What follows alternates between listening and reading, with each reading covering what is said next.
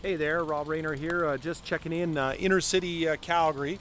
And uh, I just wanted to talk a little bit about market recovery right now. There's been lots made about how the real estate market uh, has recovered and is recovering, and it's sort of driving the economic stability in the country right now. And I do believe all of that is true. Sales are up, uh, house prices have stabilized for the most part, and inventories coming down, leading to a more balanced market. All of that is true.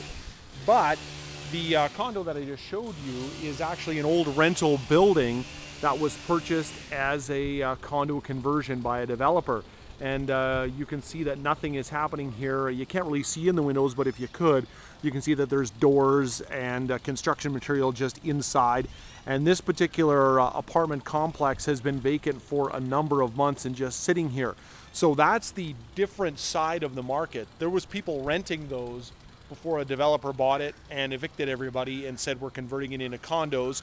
The market went down and, and uh, really bottomed before they could actually get their project finished and start reselling them. So that's kind of the downside of what happened with that super high market. Uh, developers bought rental units, those people all had to find a new place to live. And now that particular unit, the whole building is sitting there vacant. People could be living there.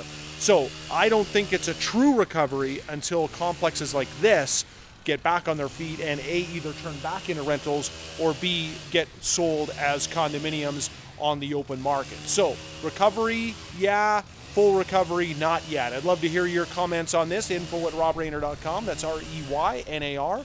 Info at robreynar.com. Thanks.